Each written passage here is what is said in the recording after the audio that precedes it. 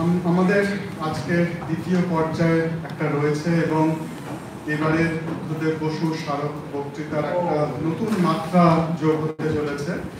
কারণ আজকে বুদ্ধদেব বসুর জন্মদিনে তারই নামাঙ্কিত স্মারক বক্তৃতার অনুষ্ঠানে তারই নামাঙ্কিত সভাঘরে তার সুযোগ্য কন্যা দময়ন্তী বসু সিংয়ের লেখা বই উদ্বোধন করা হবে।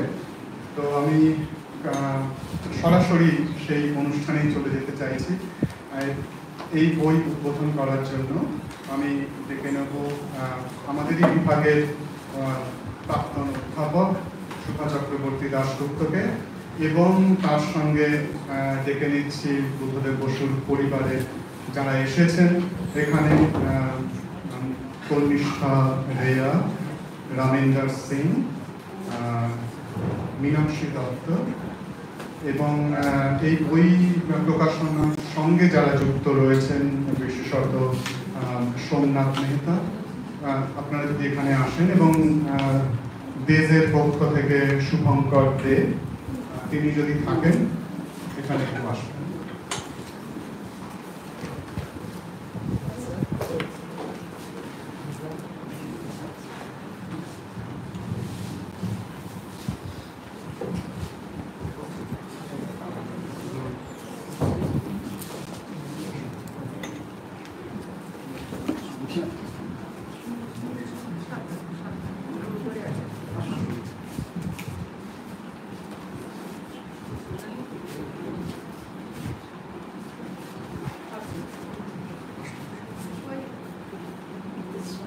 আমি আহ, শুভাদিকে অনুরোধ করছি যে আপনি এই বইটি যদি আনুষ্ঠানিকভাবে উদ্বোধন করেন।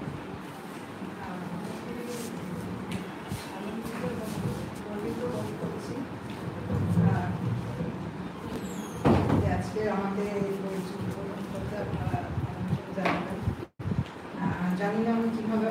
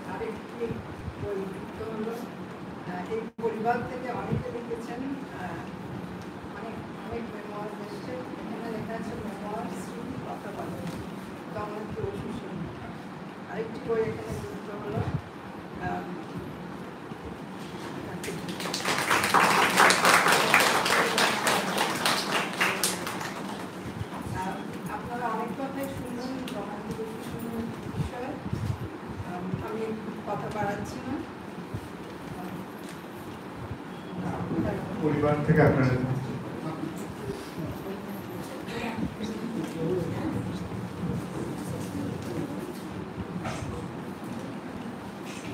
Um, The main introduction is provided by the daughter of the minister and a long time family friend Shona.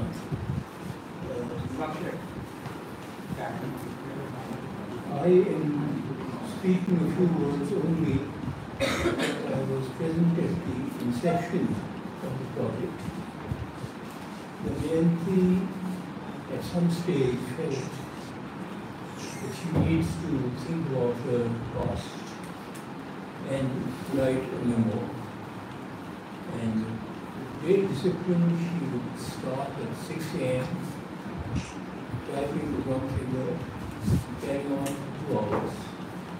With a short break, out and greet the sun folded hands. She was a wonderful woman with great courage, initiative, honesty. A friend described her as a force of nature. She was also warm and friendly and kind. This is not the occasion to talk about her, so I'll request my daughter, Tanisha,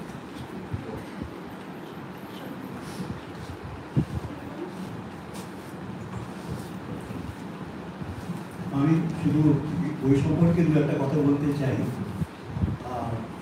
যাদবপুরের এখানে মানে computer ডিপার্টমেন্টকে খুব ধন্যবাদ জানাতে চাই যে আজকে এই বইটা এখানে প্রকাশ করার সুযোগ করে দেওয়ার জন্য। এই বইটি প্রকাশ করার জন্য এর চেয়ে ভালো জায়গা হতে পারে। তার কারণটা হচ্ছে যে লেখিকা এই ডিপার্টমেন্টে পড়াশোনা করেছেন নিজের কলেজ জীবনে এবং তারপরে আর এই বইতে আপনি পাবেন যে প্রথম বাইশ বছরে যে ইতিহাসটা লেখা হয়েছে সম্পূর্ণ করে যেতে পারেননি, সময় পেলেন না বলে। আরও পেলে আমরা বুঝতে পারতাম যে আরও তার জীবনের অনেক অভিজ্ঞতার কথা। কিন্তু প্রথম বাইশ বছরের অভিজ্ঞতা এখানে লেখা আছে, তার মধ্যে ছটা বছর কেটেছে এই যাদবপুর ক্যাম্পাসে। সেই কথাটাই এখানে বিশদভাবে বলা হয়েছে। সেজন্যই এই জায়গাতে এই বইয়ের প্রকাশ করাটাই খুব দরকার ছিল। বুদ্ধদেব বসু নিজের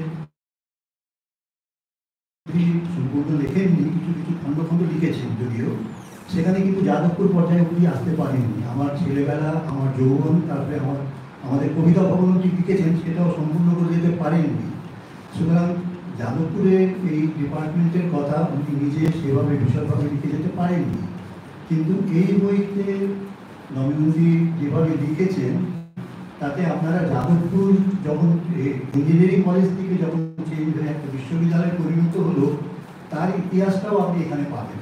এবং যারা এই ডিপার্টমেন্টে করছেন, তারা এই ডিপার্টমেন্টটা কীভাবে গড়ে উঠেছিল, তারও একটা, এখানে একটা ইতিহাস পেয়ে যাবে। সুতরাং সেই ক্ষেত্রে এই বইটার একটা মূল্য আছে এই ডিপার্টমেন্টের জন্য, এই বিশ্ববিদ্যালয়ের জন্য। আমি এটুকুই বলতে চাই, আপনারা বইটা পড়লে আরও ভালোভাবে জানতে পারবেন। ধন্যবাদ।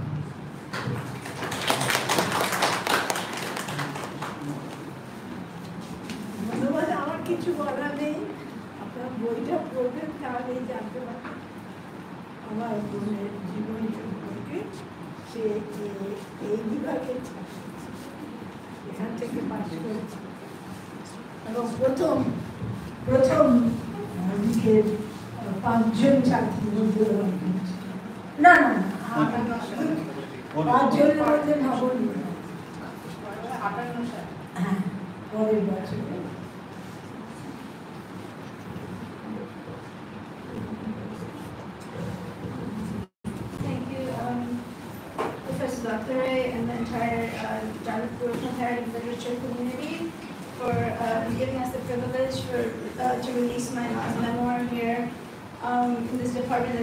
Uh, to her.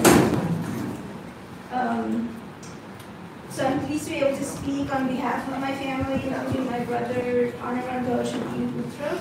So this memoir is um, her last gift to all of us. Uh, it's a beautiful memory of a remarkable childhood and youth in one of Bengal's greatest literary families. Um, drawn into her world, we see a girl with wild curls, great charm, and intimacy and closeness um, to an incredibly rich time in Bengal's literary and cultural history as the daughter of Buddhadev and Pradibha Her stories weave through the many events that occurred at Ushadpur Rashbari Avenue, Kokita Bhavan, a place filled with laughter, joy, friendship, and love, and where much history was made. Her childhood days were spent in this house where she grew up watching generations of poets and writers, met with artists and political activists, and became deeply connected to the performing arts while bearing witness to a country as it became independent from British rule. So some of her happiest memories are vividly described uh, here as her family's time staying in Shantiniketan, her father serving with the United Nations in Delhi and being hosted in Mysore as guests of royalty. She shares her story about her first encounter with heartbreak, the time she lost the undivided attention she had from her mother when her younger brother was born. It was also the time that ultimately led to her closeness with her father, a deep bond she cherished throughout her life, a reality perhaps reflected in her being the heroine of many of his children's stories and poems, and his many poems for her. The stories follow her through to the time when Jadavpur University was first established, and her father started the comparative literature department here. She enrolled as one of the first students among just a handful of women. Those years spent in freedom, intertwined with friends, many of whom became lifelong companions, were some of her most joyful. While this memoir was incomplete at the time of her untimely and unexpected loss, the stories about her childhood and youth as a student in Jadavpur were complete and are perhaps the most meaningful and interesting in terms of understanding her and her family's place in that time and in Bengali society. This period ends with her leaving for graduate work in the US at her father's urging and due very much to her own successes at this university. These are among the saddest moments she chronicles, leaving behind Kolkata, the city that she loved and that had nurtured her unconditionally, and her, her, and her life with family and friends who had filled her childhood and youth with so much excitement, joy, and love. So following her graduate work and her return to India, she went on to teach comparative literature, ultimately moving to North Bengal, carving out a place for herself in this world.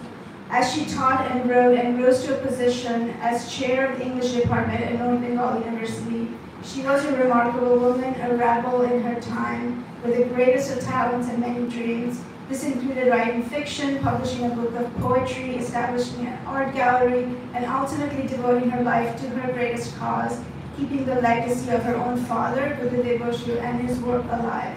In an interview, she commented that she felt her life was fulfilled. So although we may need to let her go, we need to remember that in this life that she lived, while not without challenges, she was able to fulfill her many dreams. She cherished her children, the greatest boons of her life, as she said, the solace of her sorrows and reason for my existence, and her many friends who surrounded her with unquestioning support and unconditional love. And ultimately, her life was transformed by a wonderful man, Paul, who came into my life completely unexpectedly, becoming the ideal father of my children and filling my life with love. That's of my father, Raminder Singh.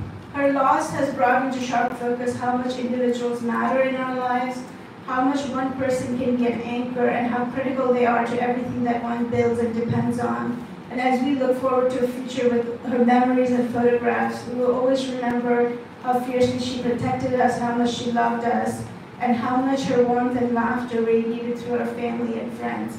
Without her, there would be no family, not just in terms of people, but the love, care, and passion for what we do that defines all of us, but that were ultimately truly inherited from her. I just also want to say that the memoir would not have been possible without the help of many in Dominic Singh's life. In particular, as a family, we're grateful to Days um, for publishing this work and to Shomnath Mehta, um, who has become an integral part of the Bush family. He was true brother to my mother, always by her side, believing in her dreams and helping her achieve them. And thank you again very much for making this extraordinary moment possible.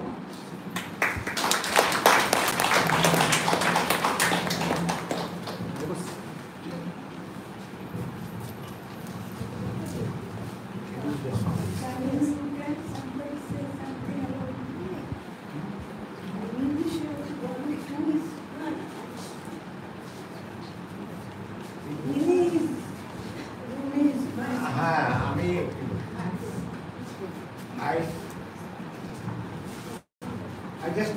say a word about the little girl who just talked about uh, Damayanti Boshu. She's Damayanti Boshu's daughter, a fully professor at the University of Columbia, has eight research projects going under her. And uh, that schoolgirl is now is now pers- perhaps poised to have at least another uh, another few Nobel Prize winners among her students in the next few years. She is a full professor of Columbia University, which is about the highest, highest, highest you can get in the academy. Someone take the microphone. Wow. That's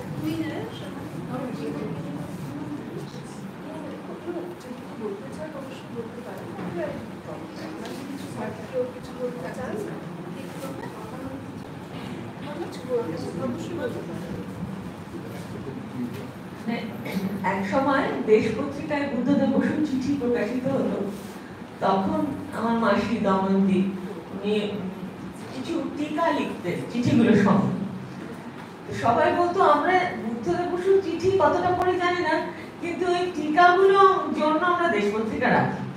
তো বোধহয় সার্কুলেশনই বেড়ে গিয়েছিল সেই সময়। এবং সবকিছু ছেড়ে দিয়ে ওই যে নতুন লেখকদের তুলে ধরা, নতুন শিল্পীদের জন্য একটা মঞ্চ তৈরি করা এবং সর্বোপরি যে অন্যের গুণটাকে তুলে ধরাতে আড়াল হয়ে গেছিল ওর নিজস্ব প্রতিভা। এত প্রাঞ্জল গদ্য এত অসাধারণ মানে রঙিন ব্যক্তিত্ব।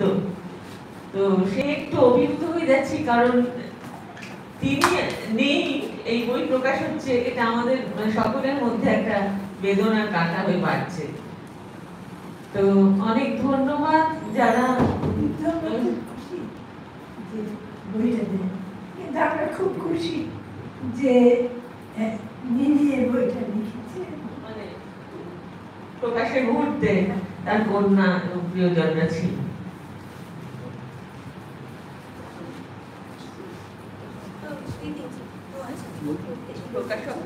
যে সবচেয়ে গুরুত্বপূর্ণ যে হ্যাঁ। কত স্মৃতি আছে ওদের আহ, দমন্ত সঙ্গে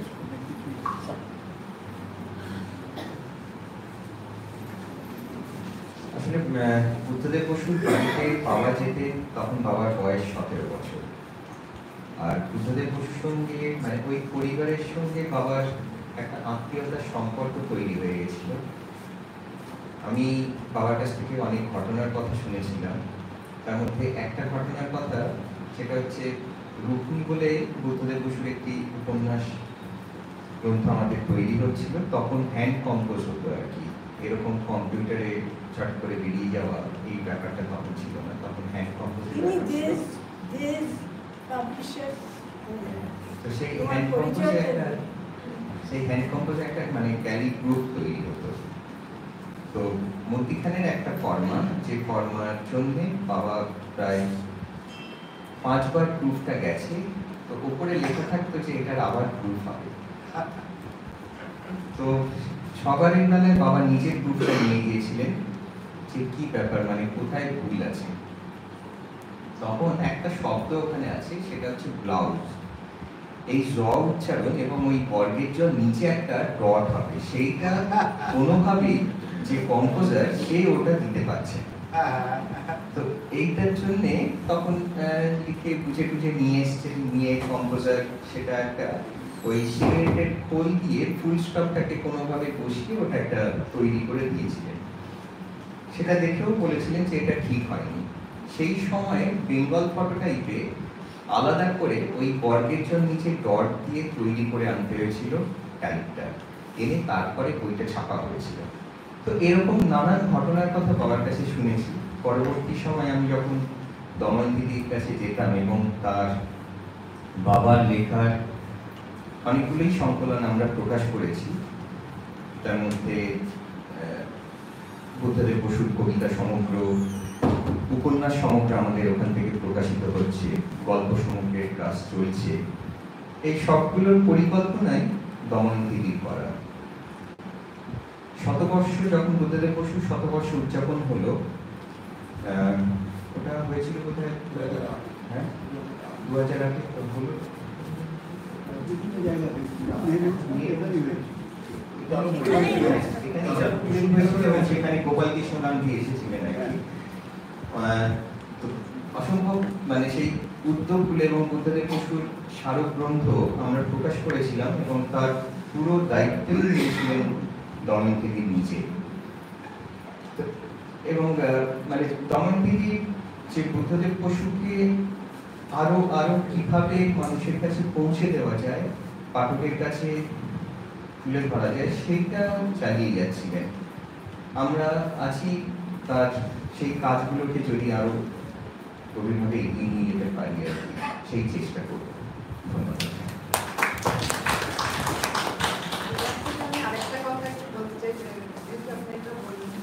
যে আমরা কিন্তু এখনও বই আমরা প্রায় ব্যবহার করি বুদ্ধদেব বসুকে পড়বার সময়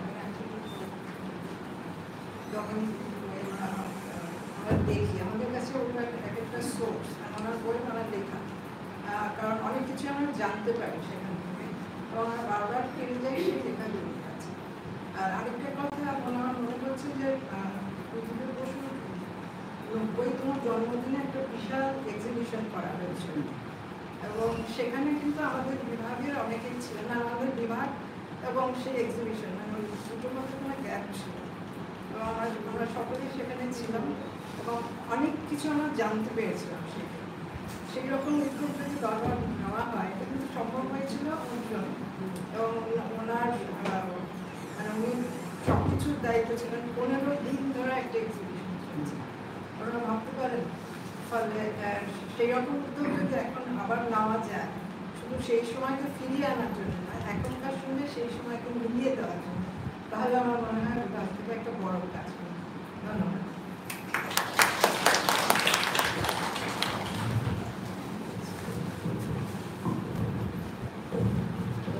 সবাইকে অনেক ধন্যবাদ। একটা ছোট্ট কাজ আছে আমাদের Jadavpur journal of comparative literature বেরোয় তো আমি অনুরোধ করব সুচেতা দিকে আচ্ছা সুচেতা ভট্টাচার্য, যদি একটা আমি আনন্দদা, একটা কনিষ্ঠা দিকে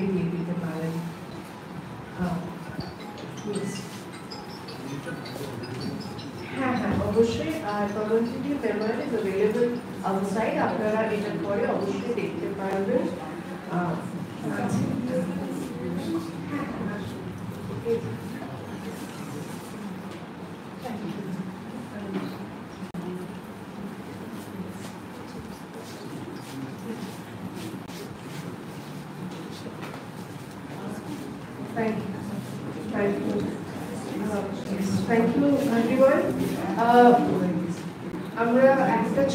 formal vote of thanks, Uh, we are very grateful for everyone to be that has been here today. Uh, we are grateful to uh, Professor Anandula, and Professor Abhishek Gupta for making this possible with such a wonderful lecture. Uh, we are also grateful to the family of Dilip Bush for making the memoir a possible launch at our department. It's a privilege. Uh, we are grateful to university authorities, and Dean Faculty of Arts for the kind message. We are grateful to uh, Shubhadi for being Shubhadi. Uh, and we are grateful to uh, our colleagues, scholars, alumni. It's a semi-reunion for all of us because we've actually, this is an opportunity to meet our old friends. And thank you for everyone, scholars, research scholars, colleagues, students, uh, non-teaching staff in the, uh, in the department for this opportunity. We hope we can have more opportunities and we will explore Shubham's suggestion as well, which I think would be an enduring one. So to more enduring relations. Thank you. We have tea that's gone cold as always outside with bakery biscuits, which are nice, I think. All right. So thank you, everyone. Thank you for being here with us.